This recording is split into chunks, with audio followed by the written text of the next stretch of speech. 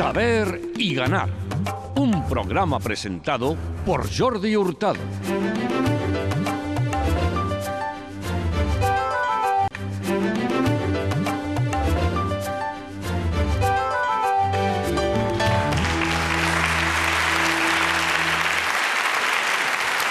Bienvenidos amigos espectadores, aquí está en Televisión Española Saber y Ganar, fin de semana. Dos jornadas para pasarlo muy bien con todos ustedes. Ya saben que el domingo pasado Llorenç Gasset del barrio de Sants de Barcelona superó el pequeño gran minuto. Consiguió 4.120 euros, que era el bote, la cifra en ese instante. Fue una gran alegría porque con todo lo acumulado ha ganado más de 10.000 euros, se ha convertido además en magnífico y tiene muchas ganas de reincorporarse a los programas diarios. Es una gran alegría cuando un concursante supera la gran prueba de los domingos. Lo mismo les deseamos al equipo rojo ya hoy. Joan Carlas, Antonio, Andrea, bienvenidos. Suerte. Suerte a los tres.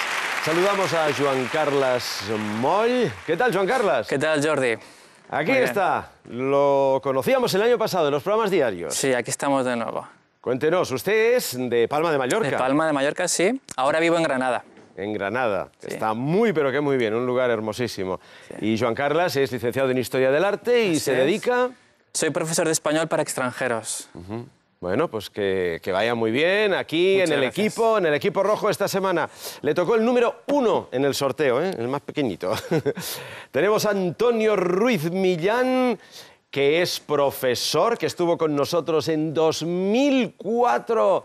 Bienvenido, Antonio. Bien hallado. ¿Qué tal? Antonio Ruiz, de Llerena, Badajoz. Sí, Bueno, pues fíjese cuántas cosas han pasado desde 2004, ¿verdad? sí, sí, ahí ha cambiado todo mucho, pero vosotros estáis igual, ¿eh? O mejor. Bueno, mejor, incluso estamos mejor, porque fíjese qué decorado más bonito que tenemos. Estamos muy contentos, Antonio, efectivamente. Ya hemos celebrado el vigésimo primer aniversario. Antonio, ahí Sí. está el programa. Sois y Antonio ahora está jubilado. Sí, llevo ya casi cuatro años cobrando sin trabajar. Bueno, y bien, bien. Mejor, mejor que antes. Está mejor que antes, que cuando era profesor, Ahora me dedico a otras cosas que me gustan. que le gustan antes mucho. Sí, sobre todo la música. La música y disfruta. Ahora me ha contado que tienen un chat con los amigos, ¿verdad? En el grupo. Sí, sí, de, de un grupo de músicos, un chat de músicos de rock. ¿Cómo se llama ese Se chat? llama Chatberry. El chat Berry, Ah, está bien. El chat Berry. Antonio, que, que tenga mucha suerte y que vaya muy bien. Muchas gracias. Y Andrea Sanz es el segundo, ¿segundo o tercer fin de Segundo, segundo. Segundo, segundo. Andrea Sanz de Zaragoza, trabajando ahí en la biblioteca, con Patricia dos añitos, segundo fin de semana, y se lo llevó todo Llorenç porque el marcador Sí. está a cero, Andrea. Por desgracia, pero bueno, bueno, enhorabuena para él, me alegro mucho por él. Estuvo usted a su lado el domingo Sí, pasado, ahí en ese momento tan emocionante, tan bonito, ¿verdad? Claro, claro que sí. Qué alegría, qué alegría ver el éxito de los compañeros. Suerte, Andrea, también. Gracias. Bueno, el bote está a cero, claro, porque Llorenç eh, consiguió eh, superar esa gran prueba. Así es que el bote empieza hoy de nuevo. Y Juanjo, vamos a ver qué ocurre. Nueva, nueva aventura. Vamos a ver qué, qué ocurre. Un abrazo cariñoso a Llorens para empezar, pero a rey muerto, rey puesto. O sea que a los señores concursantes el trono está vacante. Que les vaya bien. Efectivamente, empieza el juego batería de preguntas para el equipo rojo y después entra el equipo azul. Adelante, tiempo. ¿Qué proteína de los cereales no digieren bien las personas celíacas, el almidón o el gluten? Gluten. Correcto, vamos a recordar la lista de los reyes godos y díganos quién encabeza la lista, Ataulfo o Alarico. Ataulfo. Correcto, ¿de qué color es la flecha de una novela histórica de Robert Louis Stevenson? ¿Verde o negra? Verde. No es correcto. ¿Cuál de estos es uno de los siete de los siete pecados capitales? ¿La crueldad o la pereza? Pereza. Correcto. ¿En qué faceta artística por la que fue galardonada con el Premio Nacional destaca Olvido García Valdés? ¿En poesía o en pintura? En pintura. No es correcto. ¿Qué músico y cantante brasileño publicó su primer disco Domingo en 1967? ¿Milton Nascimento o Caetano Veloso? Caetano Veloso. Correcto. ¿Qué forma tiene un matraz de Erlenmeyer? ¿Cilíndrica o troncocónica? Cilíndrica. No es correcto. ¿Cuántos satoshis necesitamos para cambiarlos por un bitcoin? ¿Un millón o cien millones? 100 millones. Sí, señor, Tiempo. correcto. ¿Saben ustedes? Tiempo, tiempo, tiempo. Sí, le iba a explicar, señor Hurtado, que Sí. un satoshi es una unidad de fracción del bitcoin, ¿eh? equivalente a 100 millones de satoshis es un bitcoin. Son unas cifras, Juanjo, y además... ¿Usted ha visto alguna vez un bitcoin? ¿Lo ha visto? No, no, ni lo verá, ni lo Ni verá. lo verá. Pero se hablan de unas cifras, ¿verdad? Bueno, bueno. Esto no supera, no supera realmente, ¿verdad? 100 puntitos, 100, que son 100 euros.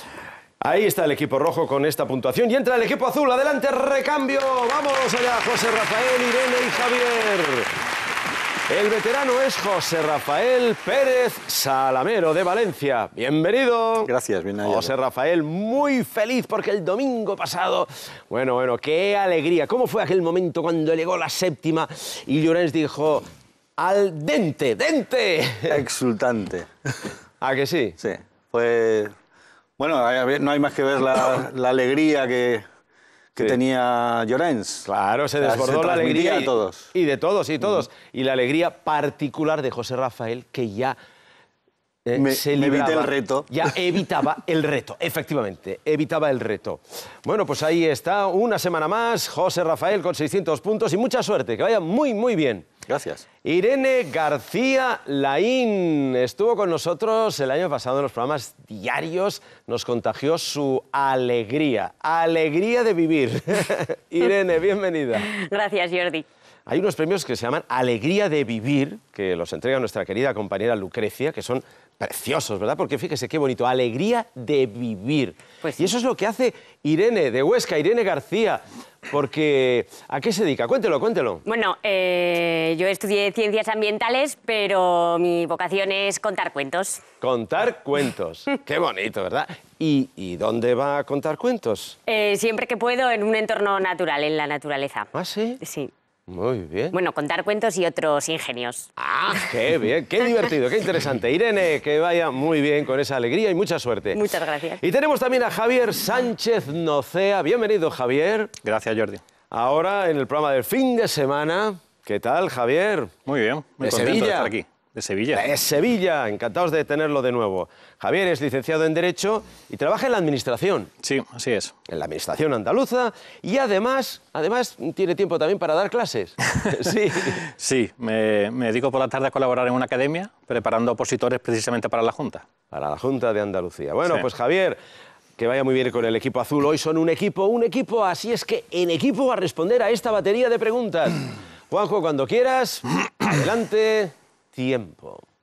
¿Cómo empieza el poema de amor que en realidad es una canción desesperada? ¿Puedo escribir los versos o emerge tu recuerdo? Puedo escribir los versos. No es correcto. ¿Qué sabio griego inventó la esfera armilar y determinó con gran exactitud el tamaño de la Tierra? ¿Apolonio o Eratóstenes? ¿Eratóstenes? Correcto. ¿Cuál es el tipo de corteza más abundante en nuestro planeta? ¿La basáltica u oceánica o la granítica o continental? Eh, ¿Basáltica o oceánica? Correcto. En las cuberterías clásicas, ¿para qué sirve el tenedor de tres dientes? ¿Para la carne o para el pescado? Para la carne. No es correcto. ¿Cuál ha sido la película más taquillera de 2017 en las salas de cine españolas? ¿La Bella y la Bestia o Fast and Furious 8? Eh, la Bella y la Bestia. Correcto. ¿Qué mamíferos ungulados tienen un número par de dedos en cada pata? ¿Los artiodáctilos o los perisodáctilos? Eh, artiodáctilos. Correcto. ¿Qué selección ha sido la última ganadora del torneo de cricket Ashes, o sea, cenizas? ¿Australia o Inglaterra? Australia. Sí, señor. Australia.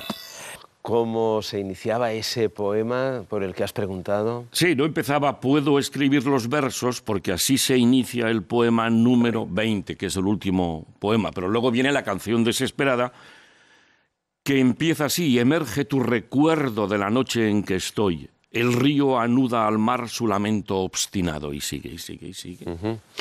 Muchas gracias. 100, 100 puntitos el equipo azul. Y con estos marcadores, atención porque llega ya nombre oculto. Una prueba muy interesante y los primeros que se van a enfrentar, atención, Joan Carlas y José Rafael. Y atentos, lo primero que hay que encontrar hoy en nombre oculto es un país. Bueno, pues ahí está, oculto. 20 segunditos, preparados, manos atrás, José Rafael, los dos, pues adelante, tiempo. Bueno, pues a ver, este país... Hay que decir exactamente lo que está ahí escrito. Emiratos Árabes Unidos. Emiratos Árabes Unidos. Muy bien, país de Oriente Medio compuesto de siete emiratos. El de mayor tamaño es Abu Dhabi y el de mayor población, Dubái. Respuesta correcta, Emiratos Árabes Unidos. 100 puntitos, equipo azul. Muy bien, José Rafael. Atento, Joan Carlas. Segunda incógnita hoy. Vamos al cine. ¿Mm? Ya saben que estamos en un fin de semana muy cinematográfico porque mañana noche los Oscars en Los Ángeles. Claro, aquí será la madrugada ya del lunes. Bueno, pues vamos al cine a ver este título que está oculto. ¿Lo sabrán? ¿Lo verán? Tiempo. Se habla mucho de este título precisamente este fin de semana. José, La Rafael. forma del agua.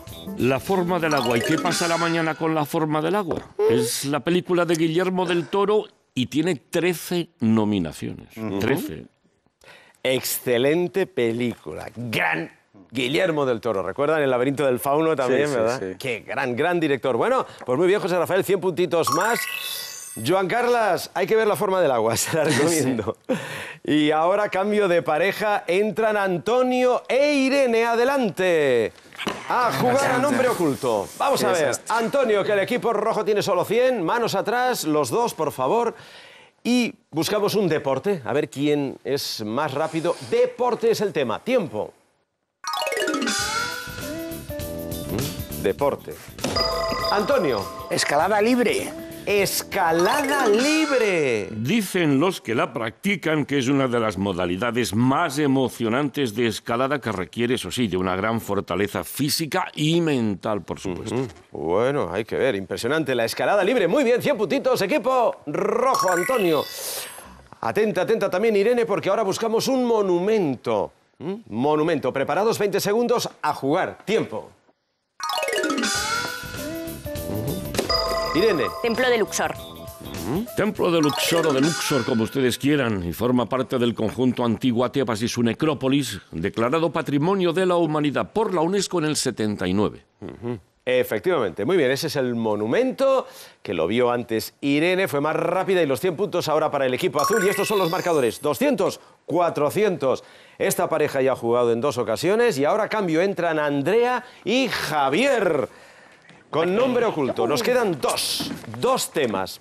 El primero es una canción. ¿m? A ver, a ver, preparados, manos atrás, buscamos el título de esta canción, jueguen con nosotros, tiempo. Bueno, a ver, título de la canción. Andrea, ¿Cómo hemos cambiado? ¿Cómo hemos cambiado? Es el título de una canción de presuntos implicados y del 91. que nos va a cantar Andrea, porque con- ¿cómo hemos, Hemos cambiado? cambiado. ¿Qué nos ha pasado? ¿Verdad?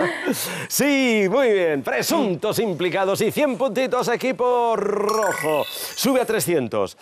Y la última incógnita que tenemos hoy en nombre oculto es una pintura, un cuadro. A ver quién ve antes este título. Adelante, tiempo. Bueno, a ver. Pintura. Muy hermosa. El almuerzo de los remeros. Sí, es una obra que pintó Renoir en 1881 y que plasma una escena llena de luz y de alegría en la terraza de un restaurante a orillas del Sena. Como ahora comprobamos, efectivamente ahí está esa gran obra de Renoir, ese almuerzo, el almuerzo de los remeros. Y 100 puntitos. Muy bien, Javier. Equipo azul sube a 500 en este instante, equipo rojo 300. Y vamos a cambiar de pareja y de juego. Entran Joan Carlas e Irene para seguir la pista. Bueno, pues ahora, preparados, manos atrás, por favor. La primera pista dice... Bueno, pues es muy fácil porque nació en Londres en 1957. Ujú. La segunda dice, su esposa es la hija, atención, de un famoso escritor. ¿Mm? Irene, Colin Firth. Colin Firth. Eh, no, rebote. Paso. no. Vamos con la tercera pista. Posee una dilatada carrera. ¿Mm? ¿No? Bueno. Seguimos. Una dilatada carrera entre éxitos en el cine y en el teatro. ¿Mm? Esta pista, ¿no? Piensen que nació en Londres en el 57. Sigo, en los últimos años ha participado en escasas películas. Kenneth Branagh. Kenneth Branagh, no, rebote. No me, no me viene No, nada. ay, ay. Pero atención, sexta pista, todas ellas exitosas, todas ellas exitosas. Pierce Brosnan. Chris Brosnan, no, rebote. Joan Carlos, no. Elena Bonham Carter. Elena Bonham Carter, no. El año pasado, atención, en 2017 anunció, anunció algo que nos ha dado un disgusto. Anunció su despedida de la interpretación. Ay, em, Irene. Daniel Day-Lewis. Daniel Day-Lewis, a usted también le dio un disgusto, ¿verdad? Que no Es se que me retire. encanta. Claro, y además candidato, también candidato, Sí. candidato. Mañana, Juanjo, que no se retire. No, candidato por El Hilo Invisible, aunque ya tiene tres premios. Oscar, Mi Pie Izquierdo, Pozos de Ambición y Lincoln. Es que es uno de los grandes, eh, me encanta este actor. Daniel Day-Lewis, es, bueno, es fantástico, extraordinario.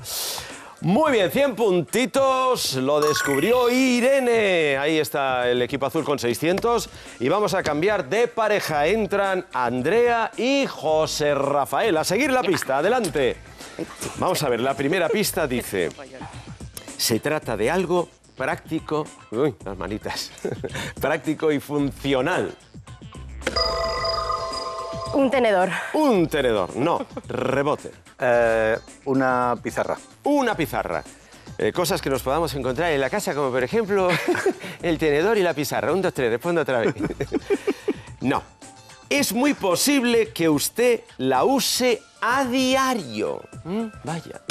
José Rafael. La maquinilla de citar. ¿La maquinilla de afeitar? ¿Sí? ¿A diario? sí. Por aquí. Ah, por aquí. Rebote.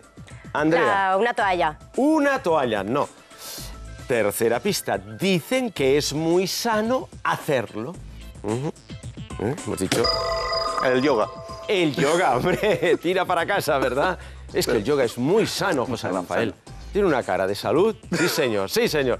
Pero no es el yoga, rebote. No se me ocurre ahora. No. Bueno, pues sigo. Pues fíjense, las hay de espárrago, molinera, de cuerda, Una silla. una silla mm, de cuerda, claro, de esparto, de, de espárrago, silla de espárrago, no, rebote. Andrea, ¿no? Sirve para conectar espacios a diferentes alturas. Una escalera. Una escalera. Claro que sí, Bueno Vallejo nos contó la historia de una. En el póker las hay de color, una barandilla no está de más, etcétera, etcétera. Pero ya saben que para subir al cielo se necesita una escalera larga. Efectivamente. Una escalera para José Rafael y 100 puntitos más para el equipo azul. Ahí está el marcador. Muy bien, cambiamos de pareja. Entran Antonio y Javier. Adelante, a seguir la pista. Última incógnita hoy. A ver qué ocurre. ¿Preparados? Manos atrás, por favor, los dos. Antonio. La primera dice, su tamaño es variable. ¿Mm? Segunda, también lo es su forma. Bueno, pues la tercera. Es típica de varios países hispanos. ¿Mm? Cuarta pista. Pero podemos encontrarla también en Grecia, Italia o incluso en los países asiáticos. Javier, Una tortilla. la tortilla. No, rebote. ¿Mm? ¿Antonio? No dice nada. Sigo. Sirve, fíjense, para desayuno, merienda, comida o incluso postre. ¿Mm? ¿No? Sexta, la harina, atención, la harina es fundamental para elaborar la masa. ¿Mm? La harina, la masa, por ahí detrás ya lo saben. Séptima, aunque el relleno, el relleno es el elemento determinante. ¿Mm? Relleno. Eh, una empanadilla. Una empanadilla. O una empanada. ¿eh? Lo más habitual es que, es que sea en forma de media luna, ¿eh? como suelen ser las, las, las pequeñas, las de menor tamaño, las empanadillas. Pero también puede ser rectangular como las de gran formato, como las empanadas gallegas, por Oh, ejemplo, ¿eh? que luego se pueden cortar en raciones. Sí, señor. Antonio, empanadilla. Estaba aquí con la empanadilla, ¿verdad? Estaba liado con la empanadilla. Encarna. ¡Cana! ¡Empanadilla! 100 puntitos. Muy bien, muy bien, Antonio, sí señor. Pues ya tiene 400 puntos el equipo rojo, 700 el equipo azul y hay un gran enfrentamiento los sábados, que es ese gran enfrentamiento por equipos que es no os paséis. Pero antes, ayer en nuestra pregunta express les pedíamos qué artista arrasó en los premios Grammy de este año 2018 al ganar los seis premios, sí, seis premios a los que optaba. La solución era la opción A, que corresponde a Bruno Mars. Si siempre ha querido concursar en Saber y Ganar, ahora puede hacerlo desde casa, sí, cómodamente, y llevarse 3.000 euros. Solo debe responder a una pregunta que hemos formulado hoy en el programa. Es la siguiente, atención. ¿Cuál de estos es uno de los siete pecados capitales? Joan Carlos lo sabe. A. Crueldad. B. Pereza. Si sabe la respuesta, llame ahora mismo, llame ya al 905-447-001 o envíe un SMS con la palabra saber y la respuesta A o B, solamente la letra, al 23001. El mensaje le costará 1,23 euros y la llamada 1,45 desde fijo y 2 euros desde móvil. Demuestre lo que sabe concursando con nosotros. Recuerden, el ganador de la semana se llevará 3.000 euros. Participe ahora, suerte y no se pierdan la gran prueba de los sábados.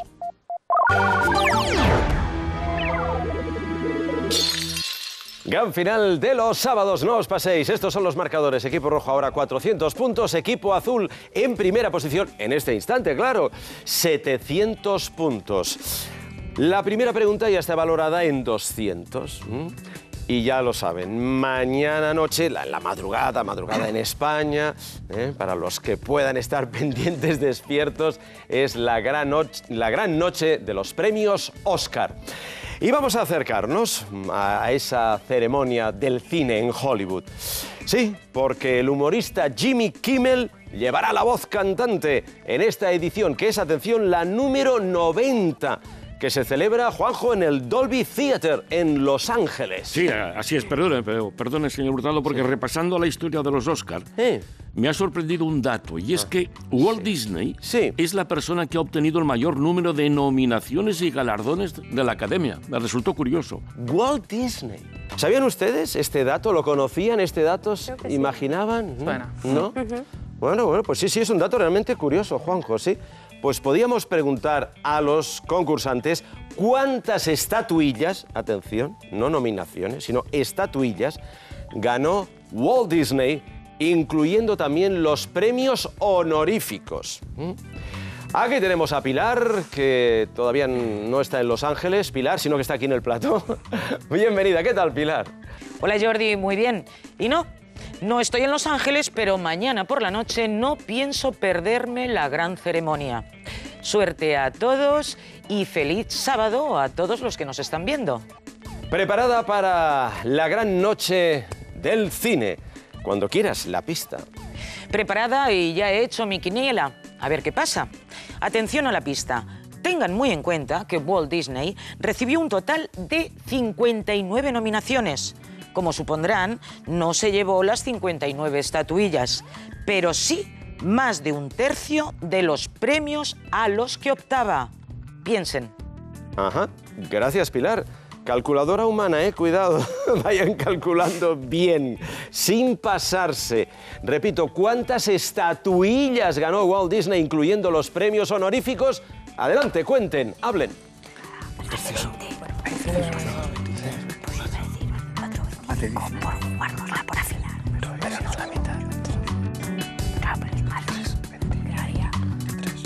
Llega el momento de escribir esa cifra ya en los ordenadores. Adelante, los dos equipos. Equipo rojo, por favor, escriban ya. Equipo azul, escriban ya la cifra sin pasarse. Estatuillas. Premios que consiguió el gran Walt Disney. Veamos las pantallas. Atención. Ahí están los resultados. La cifra menor, 22. 22, 22, el equipo rojo. Y dos premios más, 24, el equipo azul, que le da dos premios más, Juanjo. Sí, pues fue premiado con 22 estatuillas, pero, pero, pero, pero, pero, pero recibió cuatro premios honoríficos, que son cuatro estatuillas más, por lo tanto, 26. 26. Uy, ese 22. Oh, qué pena, ¿verdad? Sí, sí, 22 estatuillas más los cuatro. Hemos preguntado, incluyendo los premios honoríficos, lo hemos dicho varias veces. Por lo tanto, muy bien el equipo azul, ese cálculo. ¿Cómo se nota que han visto todas las películas de Walt Disney, verdad? Unas cuantas. Sí, sobre todo Irene, ¿verdad? Para coger ideas. Irene, que la que ha afinado. No es mi favorito, afinado, sí. pero quería arriesgar. Bueno, pues muy bien, 26 es la respuesta correcta. Y los 200 puntos ahí están ya en el marcador del equipo azul, que sube ahora a 900. Vamos a seguir jugando, hablando de cine. Llega la siguiente pregunta, pero antes, ya saben, alguien debe abandonar el juego. En el equipo rojo lo tienen decidido quién marchará, por favor. ¿Quién marcha? Me lo dicen. ¿Y en el azul? Rojo, ¿quién marcha? Antonio, un momento. ¿Y en el azul? José Rafael, ¿ya se va? perdón. ¿Qué prisa tiene? Antonio, José Rafael, tiene clase de yoga. Antonio y José Rafael, ahora sí, por favor, ya pueden dejar a sus compañeros. Y seguimos jugando con el color verde. Bueno, pues Juanjo, nos podíamos hacer esta pregunta. ¿Cuánto cuesta levantar un premio Oscar? ¿Mm? Bueno, pues depende.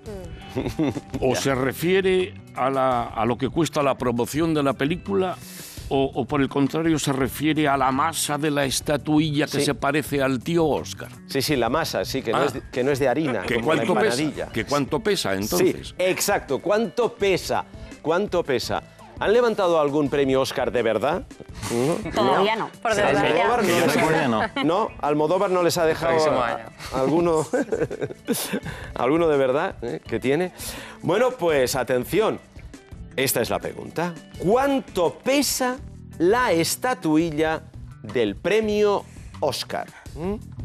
¿Lo sabe Pilar? ¿Tiene una pista? Pilar, la pista, por favor. Imaginen por un momento que tienen en sus manos las estatuillas que han ganado las cintas españolas premiadas en la categoría de mejor película extranjera. Pues juntas pesarían más de 10 kilos. Calculen. Mm, juntas más de 10 kilos. Buena pista, Pilar. ¿Eh? Películas españolas, como decía yo antes, no- nombraba Almodóvar, ¿m? premiadas en la categoría de mejor película extranjera. Así es que, ¿cuánto pesa una estatuilla? Adelante, cuenten, a ver, hagan cálculos. Las españolas han ganado Oscar. Sí.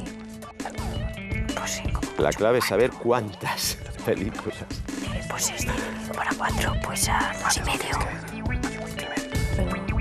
Hay que escribir ya esa cifra sin pasarse en los ordenadores. Atención, atención, que hay 300 puntos. A ver qué ocurre. ¿Los conseguirá el equipo rojo, el azul? 300 puntos en juego. ¿Cuántos kilos pesa la estatuilla del premio? Y veamos los resultados. 1,8, casi 2 kilitos, ¿verdad? ¿Mm? Eh, es la estatuilla mm, más delgadita, ¿eh? cuando el Oscar está verdad que pesa menos. Para el equipo azul pesa un poquito más. 2 kilos con 6. Juanjo, ya ves, hay diferencias según la dieta, ¿verdad? Según la dieta del Sí. tío Oscar, efectivamente, vamos por partes. Películas españolas que han ganado el Oscar a la mejor película extranjera. Volver a empezar, Belle Époque, Todo sobre mi madre y Mar adentro. La estatuilla está hecha de bronce sólido, dorado y plateado y mide 34,3 centímetros. Pero eso a ustedes les trae sin cuidado porque quieren saber es cuánto pesa. Fíjense. 3,8 kilogramos. 3,8 kilos. 3,8. El equipo rojo le han faltado dos kilitos. Le han faltado dos kilos. Ay, pues era muy, muy frágil ahí, ¿verdad? Pesaba muy poco. Estaba a dieta el, tío Oscar. Pesa 3,8, ¿eh? ya lo saben, cada estatuilla. Bueno, tenemos cuatro, cuatro películas ahí en la historia, ¿eh? con, con premio Oscar, cuatro películas españolas, mejor película extranjera. Enhorabuena porque el equipo azul acaba de conseguir 300 puntos porque se ha acercado más a la respuesta correcta. Enhorabuena. Sube a 1200 el marcador y nos queda la tercera, la definitiva de 400 puntos. ¿Quién se va a quedar En el equipo rojo. ¿Quién se queda? Yo. Andrea. ¿Y en el azul? Yo. Se queda ella. Se quedan ellas, hay que ver ¿eh? cómo son, ¿eh? Juan Carlas, Javier. Huimos. No los quieren. bueno, pues desaparezcan, por favor. Como en el cine. ¡Shum! Desaparecen. Ya está. Andrea, Irene, enfrentadas con la tercera pregunta que dice: Este año, en la categoría de mejor película de animación, está nominada una pequeña maravilla, Loving Vincent, la primera película de la historia del cine realizada, atención, al óleo. Sí, y la película recorre la vida del pintor Vincent Van Gogh a través de sus cuadros. Los lienzos del genio neerlandés cobran vida en esta original historia que rinde homenaje al malogrado artista. Siete años, atención, siete años de trabajo, esfuerzo y paciencia han necesitado sus creadores para completar la película. Y esta es la pregunta. ¿Cuántos cuadros pintados artesanalmente se han utilizado para realizar esta maravilla, la película Loving Vincent? ¿Mm? ¿Cuántos cuadros? ¿La han visto? ¿Han visto la película? No, pero he oído maravillas. Ah, que sí, maravillas, maravillas, sin duda. Es una gran obra, hermosísima. Pilar tiene una, una pista muy importante. Pilar, cuando quieras, por favor. Atención a este dato. Cada uno de los 125 artistas profesionales que han participado en la película Loving Vincent han pintado a mano más de 500 cuadros. Cuidado en pasarse. Imagínense, cada uno de los 125 artistas ¿eh? han pintado a mano más de 500 cuadros. Ahí hay dos pintoras españolas ¿eh? que han participado, que lo han hecho muy bien. Bueno, repito, ustedes están solas, deben escribir esa cifra. ¿Cuántos cuadros animados pintados artesanalmente se han utilizado para realizar Loving Vincent? Escriban ya una cifra en sus ordenadores. A ver, esa cifra sin pasarse. A ver. Cuadros. Hay que escribir. Es que, se me Irene. ha, es que se me ha olvidado las cifras. Ay, ay, ay, ay, ay, ay. Pues hay que escribir ya cuántos cuadros. Veamos los resultados. La cifra menor, 5.800, ¿verdad, Andrea? Irene, Irene. Irene, perdón. 5.800. Equipo azul. 76.000. 76.000. Equipo rojo. Bueno, Juanjo, es una gran obra, es impresionante el trabajo. Solo pensar siete años de trabajo, esfuerzo, paciencia, 125 artistas. Sí, sí, todas, todas las cifras de este, de este proyecto, vamos, se salen de madre. Fíjense, bueno, antes que nada mi reconocimiento a dos artistas españolas que han participado en este proyecto, como son Sara Campos y Sara Calderón. Bueno, la película dura 90 minutos. Saben ustedes que cada segundo está compuesto de 24 fotogramas. Pues cada dos fotogramas se fotografiaba un cuadro. Fíjense la cantidad de cuadros. Claro, 125 artistas que decía Pilar. Ha pintado más de 500 cuadros cada uno, por lo menos tenían que salir 62.500, equipo azul. Sí, sí. Como mínimo 62.500. Pero vamos a ver qué ha pasado. El señor Hurtado decía, ¿cuántos cuadros animados se han utilizado para realizar Loving Vincent? 65.000. Ja, Efectivamente. El equipo rojo se ha pasado. Ahí, Andrea, lo siento, se pasó. Qué lástima, qué lástima, porque Sí. Irene, aunque la calculadora no es lo suyo, ya lo sabemos de los programas diarios, pero esa cifra, el juego es no os paséis. Por lo tanto, Irene consigue los 400 puntos. Vamos a ver los marcadores. Con estos 400 el equipo azul sube a 1600 y es el equipo ganador. Adelante todos los concursantes. Vuelvan a la mesa y felicidades equipo azul. Enhorabuena. 1600. Vamos a ver, Irene, 1600 entre 3. Eh, Dos se quedan 500 y uno 600.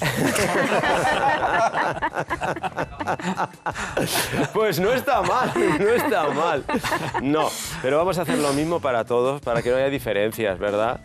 540, me dice Miguel Torres. 540 José Rafael, Irene y Javier. ¿Así todos contentos? Sí. Genial. 540 para cada uno. Enhorabuena, felicidades. Equipo ganador y hasta mañana domingo. Ya pueden despedirse de sus compañeros del equipo rojo. Gracias, hasta mañana, suerte. Y el equipo rojo se despide de los 400 y van a inaugurar el nuevo bote gracias a esos 400 puntos que, con los que contribuye el equipo rojo. Así es que inauguramos nueva cifra, ya tenemos 400 euros para mañana, para el pequeño gran minuto. Joan Carlas, decíamos que tiene el 1 en el sorteo, ¿verdad, Joan Carlas? Por lo tanto, es. usted no se mueva, se queda para ese primer reto. Todos van a hacer el mismo. Y ahora invitamos a Andrea y Antonio a abandonar el plató. Acompañen a nuestra querida Vero, por favor. Vamos a aislarlos. Joan Carlas, escucha a Juanjo, mucha suerte y a por el reto. Y ya está Juanjo dispuesto. Adelante, Joan Carlas, a responder. Tiempo. Escrito en que el demandado responde a la réplica del actor. Paso. Lista de nombres de personas. Paso. Que se repite con mucha frecuencia.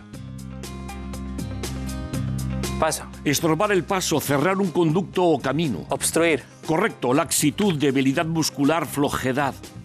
Flacidez. Correcto, rasgo irregular hecho con un instrumento para escribir o dibujar. Carabato. Correcto, persona que se preocupa mucho de su compostura y de las modas. Petulante. No es correcto. Paso. Escrito en que el demandado responde a la réplica del actor. Ah, paso. Lista de nombres de personas, Paso. que se repite con mucha frecuencia. Tiempo. Bueno, pues tres palabras, tres palabras, Joan Carlas. Muchas gracias. Ya puede dejar el espacio libre para que vuelva su compañero de equipo con este mismo reto, con estas mismas definiciones. Vamos a ver cuántas palabras conseguirá. Sigan con nosotros jugando al reto. Y adelante, Antonio Ruiz Millán. Joan Carlas ha conseguido tres palabras. Tenemos siete en total. Es el mismo reto, las mismas definiciones. Antonio, venga, mucha suerte y a buscar esas palabras. Adelante, jugando todos. Tiempo. Escrito en el que el demandado responde a la réplica del actor. Dupla. No es correcto. Paso. Lista de nombres de personas. Nómina. Correcto, que se repite con mucha frecuencia. Obsesivo. No es correcto. Obstinado. No es correcto. Paso. Estorbar el paso, cerrar un conducto o camino. Obstruir. Correcto, laxitud, debilidad muscular, flojedad. Flacidez. Correcto, rasgo irregular hecho con un instrumento para escribir o dibujar. Incisión. No es correcto. Paso. Persona que se preocupa mucho de su compostura y de las modas. Paso. Es que- ¡Tiempo! Pues acabó el tiempo. Y tres palabras también. Antonio, de momento el 3 es el número hoy. Gracias, Antonio. Ya puedes salir, dejar el espacio libre para que vuelva Andrea. Pero antes tenemos el juego para los espectadores. Les invito a participar en nuestra pregunta express y ganar 3.000 euros. Recuerden, es una pregunta que hemos formulado durante el programa. Concursen con nosotros. Es esta, atención. ¿Cuál de estos es uno de los siete pecados capitales? A.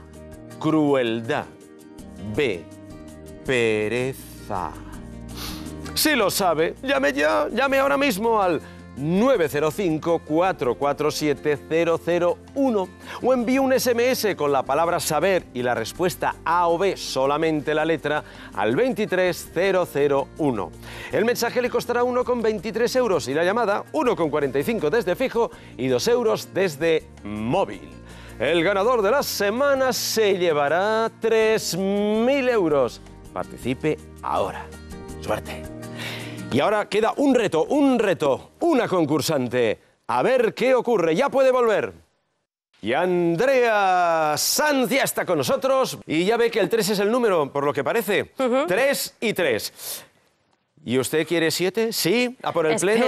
Andrea. Ojalá. En busca de esas palabras, jugando. El reto es su oportunidad. Adelante, Andrea, suerte. Tiempo. Escrito en el que el demandado responde a la réplica del actor. Paso. Lista de nombres de personas. Nómina. Correcto, que se repite con mucha frecuencia. Paso. Estorbar el paso, cerrar un conducto o camino. Obstaculizar. No es correcto. Obstruir. Correcto, laxitud, debilidad muscular, flojedad. Flacidez. Correcto, rasgo irregular hecho con un instrumento para escribir o dibujar. Garabato. Correcto, persona que se preocupa mucho de su compostura y de las modas. Eh, paso. Escrito en el que el demandado responde a la réplica del actor. Duplicado. Duplica. Correcto, que se repite con mucha frecuencia. Eh, paso. Persona que se preocupa mucho de su compostura y de las modas. Petulante. No es correcto. No, porque este ya lo han dicho antes. No es petulante, es petimetre. petimetre. Y si se repite con mucha frecuencia, es incesante. Sí. Pues incesante. Esas dos palabras han faltado, pero muy bien, Andrea. Cinco superó a sus compañeros, por lo tanto, Andrea, mañana nos vemos en Los Sabios y sus temas. Mañana domingo, mucha suerte. Besitos para Patricia. Gracias. Andrea de Zaragoza con cinco. Antonio y Joan Carlos empatados a tres. En el marcador también están empatados, por lo tanto. El número en el sorteo es quien manda. Antonio tiene el número superior, el 3, precisamente, Antonio. Así es que usted acompañará mañana a Andrea. Y Joan Carlos, en el área de descanso mañana nos vemos pregunta decisiva. Ya sabe que ahora hay novedades, así es que estaremos pendientes de las preguntas de Pilar y ahí tendrá una oportunidad, ¿de acuerdo? Ok. Joan Carlos, hasta mañana. Hasta mañana. Y ya lo saben, como mañana noche es la noche del cine en Hollywood, pues también estará presente aquí en Saber y Ganar. Así es que les esperamos a todos, porque mañana tenemos un programa de cine. Gracias, besos y hasta mañana.